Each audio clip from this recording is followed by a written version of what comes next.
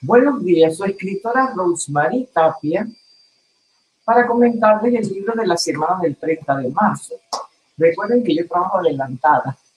La llamada de la tribu de Mario Vargas Llosa. La publicación más reciente del autor es un libro autobiográfico de su historia intelectual y política. El ensayo tiene una estructura de ocho capítulos. El primero, una confesión política, está dedicado a narrar en primera persona y irán reapareciendo la evolución ideológica del escritor, el paso de una juventud permeada por el marxismo y el existencialismo a una madurez consolidada del liberalismo. Una transformación marcada por siete figuras del pensamiento, con la cual establece un largo y detallado diálogo.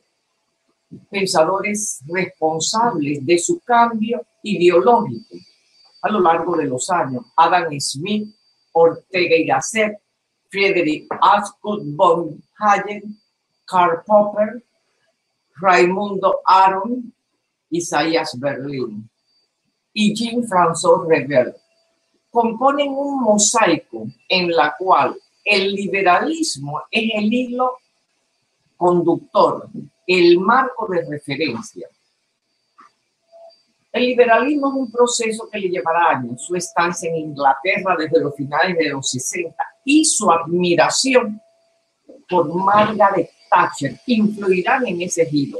Estos trazos autobiográficos se complementan con páginas destinadas a dibujar un liberalismo que no pretende la supresión del Estado ni la caída del anarquismo, descrito en el proceso de maduración intelectual y aprecio valorativo de la democracia, Vargas Llosa entra en un diálogo con siete cumbres del pensamiento y lo hace con una magnífica prosa, combina vida y obra de todos ellos siendo a su vez concreto y abstracto a ratos.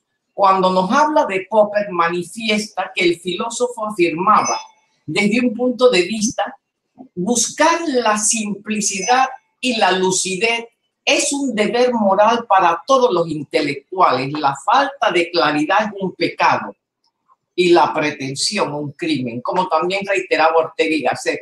La claridad es la cortesía del filósofo. La batalla no está ganada, ni lo estará nunca, nos dice.